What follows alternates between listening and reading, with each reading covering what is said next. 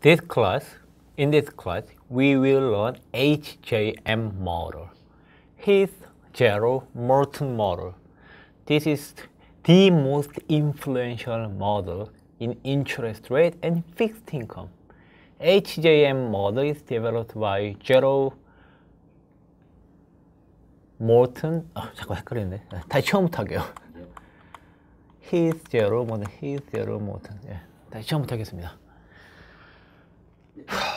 예. In this class, we will learn HJM model, Heath Jarrow Moulton model. This model is developed by Heath and Jarrow and Moulton. Moulton. Uh, is Robert H. Jarrow. He is a finance professor at Cornell University Business School.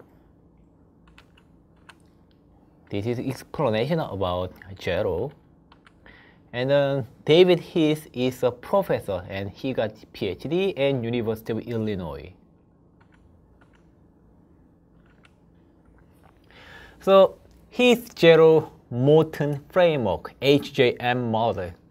The HJM framework is a general framework to model the evolution of interest rate curve, instantaneous forward rate curve in particular, as opposed to simple forward rates. When the volatility and drift of the instantaneous forward rate are assumed to be deterministic, this is known as the Gaussian HJM model of forward rate. For direct modeling of a simple forward rate, the Brace, Gatarek, Musiela model represents an example, i.e. LIBOR market model.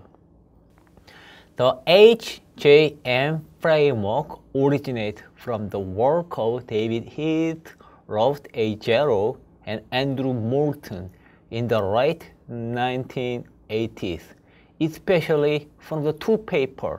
Paper number one, Bond Pricing and the Term Structure of Interest Rate, a New Methodology, 1987. And Bond Pricing and Term Structure of Interest Rate, a New Methodology, 1989.